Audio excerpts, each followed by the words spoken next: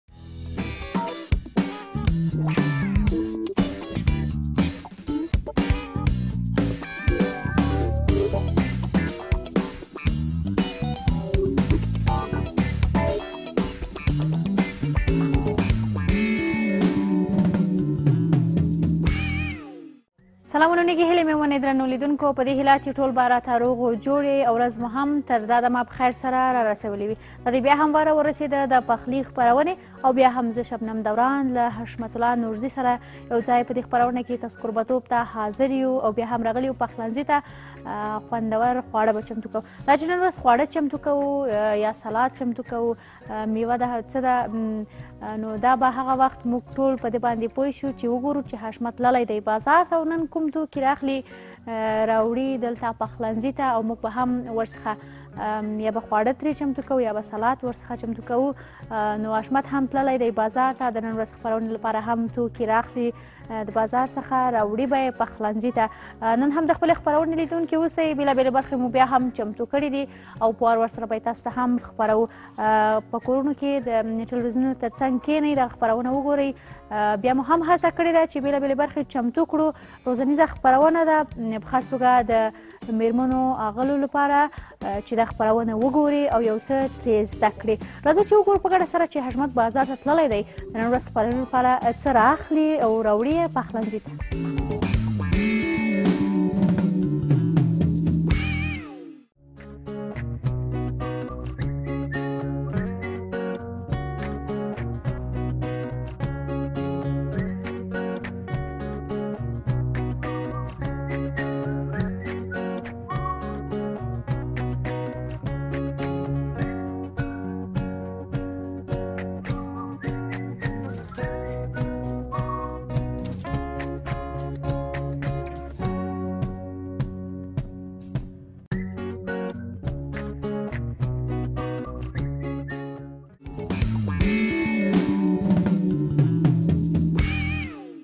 بیا هم تاسو هر کله یو درنو دونکو په خیر اغلی و مو کته په ګډه سره چې حشمت تللی و بازار ته او نن ورځ هم لزان سره میوه راخیستې دي او نن نه پیګم چې څه به چمتو کوي خو حشمت هم دا دی راغی پخلنځي ته حشمت په خیر اغلی مهرباني شاونام جان بخیالم ته قاوردی امروز نه نه خفه شوم خو نو مزه که چې موږ لیدونکو په ګډه سره وکړه چې اشمت بازار ته تللی یعنی خوندورې مزدارې میوې راوړې دي نو میوې چې راوړې زم دې ته پته مو ما چې له خیر سره ته دلته پخلنځي ته راشي او یو ډول خوندور سلاد موږ ته چمتو کړي صحیح ده مهرباني. سلاد چمتو کوو نه سلاد چمتو کوو ښه لیدونکو سره ستړي مه شئ که بیا به اه، شریک کړو ما سره چې څه سلام چمتو خود کوو بنوبه- بنوبه خود اه، به شما دوستان و علاقمندان برنامه آشپزی تقدیم میکنم خدا کنه که دارای صحت کامل باشید و یک اه، دیگری یا یک شام بسیار زیبا داشته باشید امروز یک سلات میوه‌ای آماده میسازیم که شما هم ببینید تعقیب کنید بسیار مزدار میتونید در خانه هم آماده بسازید بلکل دا میوې دې هم چې راوړي دي نو خامخا دا سره مکس شي او بیا دا نور توکي چې دي هغه هم پکې ورزفه شي خامخا خوندور سلاد به چمتو کېږي نو حشمت ته به دې کار پیل کړې نو لیدونکو ته به دا د خوراکي توکو دا پکیج چې دی دا به خپور کړو لیدونکي هم وګوري چې نن ورځ موږ دغه سلاد چمتو کوو کوم توکي پکې کارول کېږي دغه پکیج ګورو په ګډه سره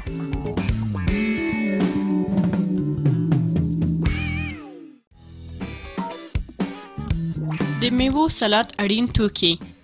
مکس فروت مینوس قیماق بوره ممیز مڼه کیله ځمکنی توت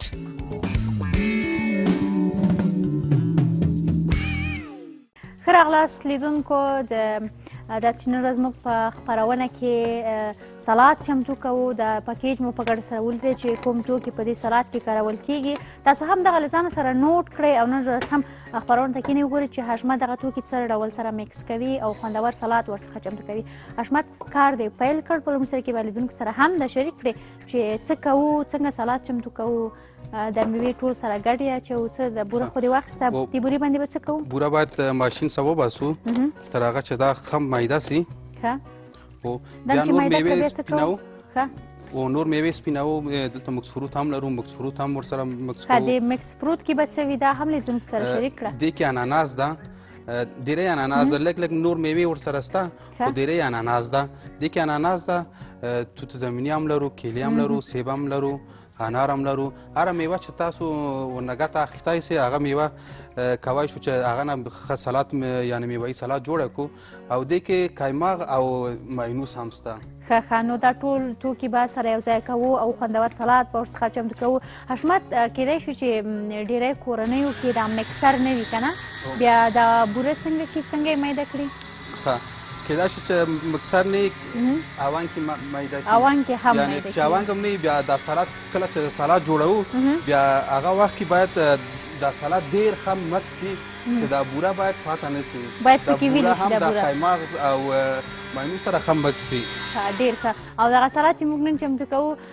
پکې بوره هم کارول کېږي دا بوره له قیماق سره مکس کړي ښه سره حل کړي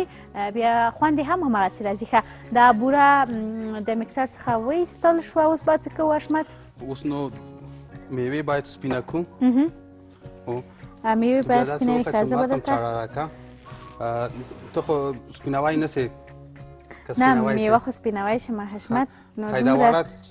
چاړه ته واخه قاعده به خپل ماته یو قاب به هم راکړې اشمت قاب مال تستا ښه زه به یو قاب راواخلم زم نن اشمت سره مرسته کوم ښه اشمت زه به قاب راواخلم دا مړه به هم سپینه کوم بیا دا د خبرونې بل برخه چې دا په دې اړه به هم دونکو سره معلومات شریک کړم چې د پخلی فیسبوک پاڼې په اړه او دغه ترڅنګ بل چې کوم خواړه چې تاسو غواړئ چې په پخلي خپرونه کې چمتو شي او یا هم دغه خواړه چې موږ چمتو کوو په دغه شان تاسو هم که چمتو کړه او انځورونه موږ ته په فیسبوک پاڼه کې راواستوي د ګټونکو برخه چې موږ لرو تاسو به خبرونه ته دلته ځان سره رابلو تاسو به هم موږ سره په پخلنځي کې یو ځای دلته ګډون کوي په ګډه سره به خوندور خواړه به دلته چمتو کوو په هر خبرونه کې موږ یو ویډیو چمتو کوو چې یا به هم د ترکاریو څخه د ډیزاین شویو ګلانو ویډیو وی یا په نورو برخو کې خو نن مو هڅه دا وکړه چې یوه ویډیو چمتو کو په خبرونه کې چې څنګه کولای شو چې د میوو د خرابېدو څخه موږ مخنیوی وکړو نو دا وکړئ چې کور کې کله هم میوې راوړي په دغه شانې وساتئ ساتنه ترې وکړئ چې په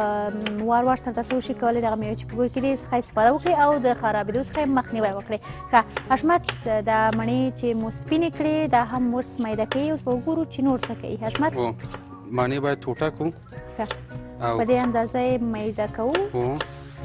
او بیا به مکسر ته ور اضافه کوو چې دا هم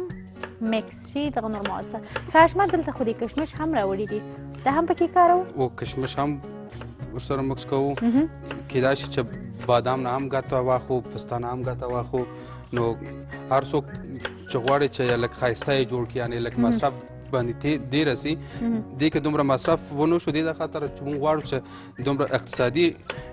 یعنی ارخ پراونه چې جوړو تاسو ته اقتصادي جوړو نو تاسو کوی شئ چې بیا بادام نه غته واخی پستا نه غته واخی ښه حشمت اقتصاد خبره دی وکړه نو دا براته وای چې نن ورځ دغه توکي چې موږ واخیستل د څخه د صلاح چمتو کوو د مجموع بیه په څو شو د دې مجموع باید څلور سوه څلور سوه څلور سوه او دغه د زموږ اشپز هم چې دی ګوره اقتصادي کار کوي اشمر جان او نن خوندور سلاد به هم موږ ته چمتو کړي تر ډېره زموږ هېوادوال به هم کولی شي چې دغه توکي د بازار څخه راواخلي راوړي په کور کې دغه شان خوندور سلاد چې نن حشمت چمتو کړي دغه شان چمتو کړي او د کورنیو د غړو سره یو ځای نوشجان کړي که حشمت دا میوه چې کله میده شوه دا نور توکي به هم پکې ور اضافه کوو حشمت دا څه ډول سلاد دی سلادونه کېدای شي چې بېلابېل ډولونه ولري دې ته موږ څه ډول سلاد ویلی شو دې ته میوایي سلاد وایو نو څوک چې ورزش کوي ورزشکارانو لپاره ډیر ښه ده نو یعنی یوازې ورزشکاران ته نه بلکې ټول خلک ته یعنی صحت لپاره ډیره مفاد لري او دې خاطر چې حشمت انجونو ته ډیر زیات ګټه لري ځکه چې د کیمیوي کارول شوی دی او میوه هم چې دی د جلد لپاره ډیر زیات ګټور دي او انجونې هم ډیر زیات اساس دي کنه همداس خپل ځان ته هم ګوره پاملرنه کوي چې څه جلد ته ښه وي روغتیا ته ښه وي هغه خامخا دغه څخه به ګټه اخلي نو دا سلاد هم چې دی خاصتا انجونو ته په ټوله کې خو ټول ته ډېر زیات ګټور تمامېږي خو د جلد لپاره د کې ډېر زیات د خطو کې د سترابري هم د توت زمینی او ورسره هم د هغه چې دی اناناس دا ډیر زیات جلد ته ګټه رسوي ځکه چې ویټامین سي لري او هغه میوو کې چې ویټامین سي هغه جلد ته ډیره زیاته ګټه رسوي تاسو هم راشن خوندور سلاد چمتو کړئ هم مو روغتیا تضمینه کړئ او هم ورسره ښکلی جلد ولرئ ښه حشمت د اناناس مخکې د مخکې میده شوي وو اناناس ورسره مڼې دا ټول سره مکس شو دا اوس په مکسر کې اچوو نه مکسر کې نه اچوو دغه مکس کوئ دې کې قایماغ هم اچو ماینوس هم اچو کشمش هم وراچو او ګوره انار د هیر نشي هلته انار هم پاتې دا به هم پکې ورزفه کو او دا کشمش چې راوړي احمد دا خو مخکې د مخکې مونږ یې پاکوو که نه کشمش چې دي خو څو ډوله دي د نورو د کشمشو د ډولونو څخه هم موږ پکې استفاده کولی شو په درې ډوله ممیز دي کنه شنه دي سره دي او تور دي یعنی درې دوه ډول نور څخه هم کولای شي استفاده وکړو پکې ولې نه هر ډول استفاده کوي سو خو نو خپ پاکي کو باید باید خې پاکو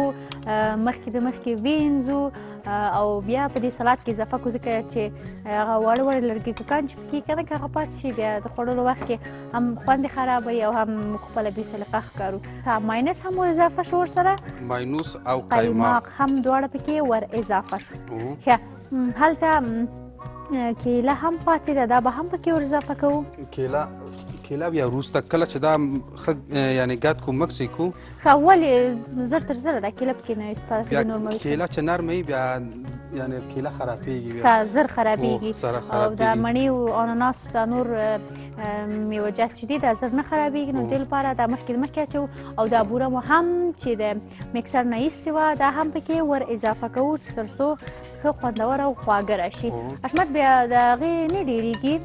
د خوږوالی ځکه چې قیماق هم خپله خوږ دی ورسره مڼه هم خوږه ده قیماق ساده قیماق ده خوږ نه ده بیا بوره ورسره اضافه کوو دې د خاطر چې له کوږوالي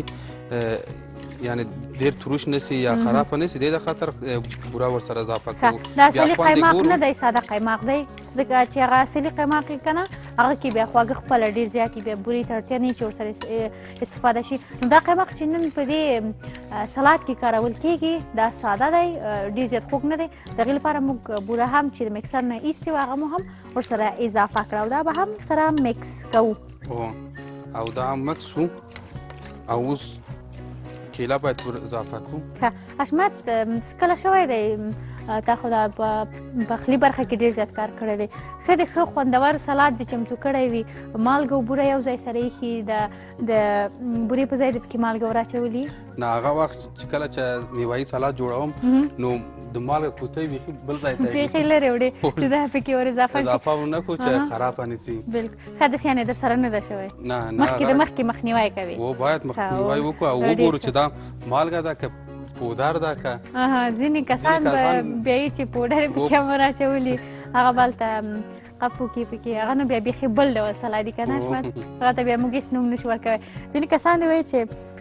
یو دوه یو دوه توکي نور پکې ورزافه شي هغه ته بیا یو بل نوم ورکوي نو هغه چې پکې پوډر ورزافه شي هغه ته به بیا بیخي موږ نوم نشو پیدا کولی دا کیله باید هم آماده کړو ښه حشمت دا د څو نفرو لپاره دی دا سلاد دلته خو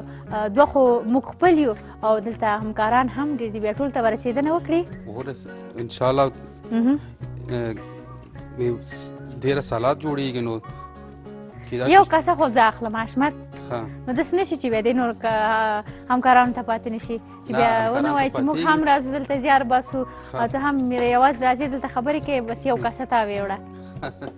او ما خو مخکې د مخکې وویل که نه چې دا جلته ډېر زیات ګټه رسي نو خپله ته هم پوهېږي چې زه به دلته څخه یوه کاسه ډکه وړم داسې نشي چې بیا دې نور کار کوونکو ته پاتې نشي خرچه لږ شو زما برخه هم ښه خپله برخه هم ماته راکوي دغه دی د همکار مې څومره مهربانه دی ډېره مننه حشمت ټوکې مې وکړې ډېرې زیاتې نه خورم خیر دی وایي وروري کوئ صاف ترمنځ او بس چې کار کوو دلته په ګډه سره ورورولي کو خوراک به مو هم یو ځای وي په ګډه سره وي خورو دا جلد ته فایده کی او جنکیان جلد پسې ډیره ګرځي نو موږ جلد پسې نه ګرځو زما برخه خپل برخه ما سره کوي همکار مې ډیر زیات ګورې دل سوز دی مننه اوس څه کوو دا انار هم سپینو او دا دانی پکې ور اضافه کوو دا غته چاړه ما ته راکړه وبخې دلته خو درې دانی دی اوس کمې ویم ده نه هغه دا به هم در سره واخلي دا به زه لرې کړم زه به در سره مرسته کوم حشمت چې بیا ونه وایي چې ټول کار ما وکړ په پخلنځي کې شبنم رای اواز راځي دلته خبرې کوي قاب مې هم بیرته منظم په الماري کې خو ده دا چې موږ کار کوو په پخلنځي کې باید د نظافت ته هم پاملرنه وکړو د پخلنځي ځکه چې هر د خوړو موږ چمتو کوو په هغه پخلنځي کې د دغې څخه د کورنۍ ټول غړي استفاده کوي او که هغه خدای نه خواسته غیر صحي وي بیا موږ به د کورنۍ ټول غړي ناروغان کړي نو ښه به وي هر څوک چې پخلی کوي په کور کې پخلنځي نظافت ته ډېره پاملرنه وکړي هغه توکي چې په خوړو کې ور اضافه کوي هر څه نه چې دوی خواړه چمتو کوي باید هغه صحي وي منظمې نظافت ته پاملرنه وکړي حشمت هم دغه دی ډېره زیاته پاملرنه کوي ځکه چې همکاران ټول دي دوی ته یو شی داسې چمتو کړي چې هم خوندور وي او هم صحي وي ښه انار دانه شو حشمت هو انار دانه شو انار هم تروش دی که خوږ دی انار ته وګوره چې که زه به یې وګورم که نه همدغه لپاره مې ویل چې دا خوږ دی که چې مخکې د مخکې په سلاد کې ور اضافه کېږي زه لږ ترې رانوشجان کړم چې ډېر زیات خوندور دي او خواږه هم دي ډېر تروش نه دي سلاد ته برابر دي ښه سلاد ته چې برابر ده نو سلاد ته بیا سلاد سره به مکس کړو سلاد کې به بیا دا وکارو واقعا خوندور و حشمت کار کې دس نشي چې کار کې مصروف شي دا نار ټول ما خوړلي دا کاسه در سره اخوا کېده ښه صحیح دس نشي چې بورا سره انار هم پکې کارول کېږي بس دا انار پاک ما خوړلي وخت کې حشمت پام شي چې دا کاسه خو د کې انارو دا څه شو بیا هغه به پاک ما خوړلې وي ښه کیله هم پکې ور اضافه کوو د سلادو کې نور توکي حشمت کېدای شي چې زموږ ځینې هېوادوال اوس مهال خپرونو سره یوځای شوي یو ځل به دغه سلاد کې چې موږ دغه میوې ور اضافه کړې دي نمونه به واخلي لیدونکو ته چې هغوی هم پوه شي چې دغه سلاد موږ نن چمتو کوو د کوم یو څخه موږ په دې کې ګډه اخیستې ده دې کې مڼۍ ده مکس فروت یعنی کوتیان کې پیدا کېږي مکس فروت انار کایماغ ماینوس بوره بوره باید ماشین سره وباسو ماینوس مالګه ونه وایې اشمت چې لیدونکی دا د میوې سلاد کې څنګه کله کله مالګه ورڅخه ځینې کسان استفاده کوی شي که نه حشمت چې مارګه خو سپاله کوي نه سي چې بیا فشار پیټي کنه ځینې کسان یعنی یعنی افغانستان کې نه خارج کیږي نه خوکیږي بیا لکه دا تور مرچ نه ده د میوه سالاد کله چې میوه سالاد جوړي بیا لک غوندې دا پر سره لږ غوندې دا تور مرچ دا تور مرچ چې نن موږ ته ګوره تور مرچ ونه چې زما خواږه سره لګي ګوره شنه شي چې بیا مرچ پکې واچي بیا زه ونه خورم زما برخه پاتې شي حشمت هغه تو زمینی د هیر نشي ګوره چې هغه مال ته پاتې دي هغه به هم پکې کاروو او چې هغه پکې وکارول شي د ټول رنگ سپین شو هغه سور دی د په ښکلا کې به هم بدلون راولي کنه حشمت هم داسې کنه د رنگونو د ترکیب هم ډیر زیات رول لري او ډیری میوې هم چې دي که ترکاري باب دي دا هم ښکلي ښکلي رنګونه سره لري چې دا مکس شي چې یو څوک وږی هم وي داسې ماښامی هم وي د وظیفې نه ستړی ستومان راشي داسې ښکلی سلاد درته چمتو شوی دا نوشجان کړې نو دا بیا خاص خوند لري او حشمت یو د د توت زمینی پاتې چې دا هم پکې ورزفه کو د خپرونې بله برخه ده چې دا به هم لیدونکو سره شریک کړو چې د روغتیايي پیغامونو ده په تېرو خپرونو کې هم موږ تاسو سره دغه برخه شریکه کړې ده چې تل موږ د ډاکټر صاحبانو نه بېلابېلو برخو کې روغتیايي پیغامونه اخلو تاسو سره یې شریکوو اوس مهال هم روغتیايي پیغام چمتو دی دا چې کومې میوې دي یا کوم توکي دي چې پکې ویټامین سي شتون لري او ویټامین سي زموږ بدن ته کومې ګټې رسوي دا د ډاکټر صاحب روغتیايي پیغام ګورو بیا هم بیرته راګرځو موږ خپل کار ته دوام ورکوو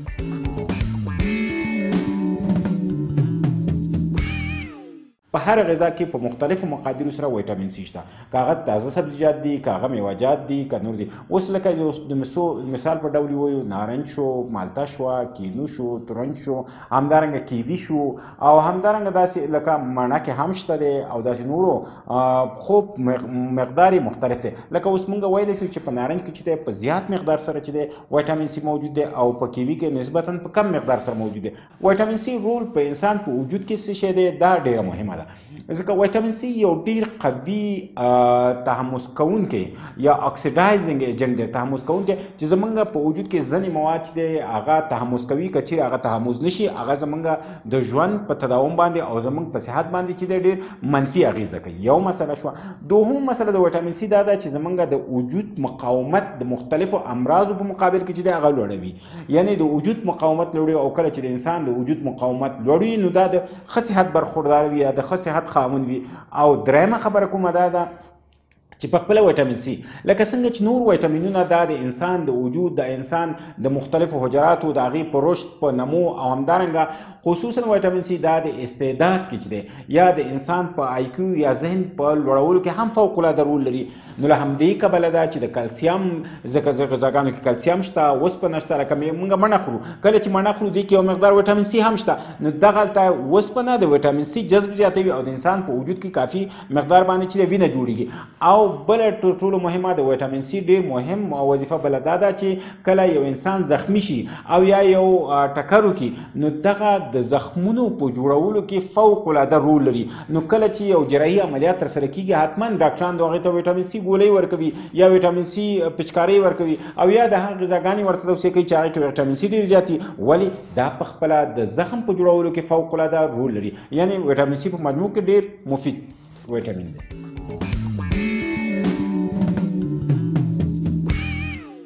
ښه راغلاست درنو لیدونکو روغتیايي پیغام په ګډه سره ولید ډاکټر صاحب نه هم نړۍ مننه کوو چې زموږ تاسو سره پیغام شریک کړ تاسو هم د دغه میو څخه چې پکې ویټامین سي پیدا کیږي اور څخه استفاده وکړئ بیا هم هغه محظوره زیاشمن چې ویټامین سي جلد ته ډیره زیاته فایده لري نو ټول اور څخه استفاده وکړئ داسې نه ده چې هلکان خپل جلد ته پاملرنه نه کوي هلکان به هم دې برخې ته پاملرنه کوي او دا میوې چې ډاکټر صاحب نمونه یې واخیسته دې څخه تاسو هم استفاده وکړئ او یو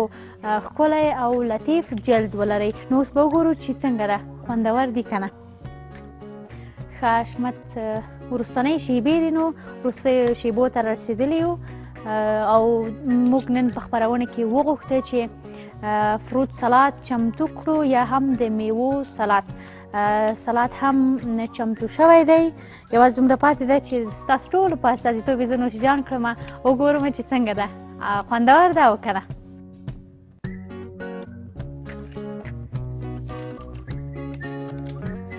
واقعیت سره دا خو ډېر زیات خوندور دی او زما خولې ته هم د توت زمینی راغی چې دا هم تروش ور سره قیماق مکس شي واقعیت خوندور دي حشمت په لاسونو دی برکت ستل زحمت باسي موږ ولیدونکو ته دا شان خوندور خواړه چمتو کوي زه به یو دوه کپه نور هم دین څخه وکم لیدونکو سره خدای پامانی کړه دا ډیر زیات خوندور دي او نور جان تا برنامه آینده که بازم در خدمت شما قرار میگیریم شما را به خداوند پاک میسپاریم شبتان خوش د الله پامان ښه وختونه ولرئ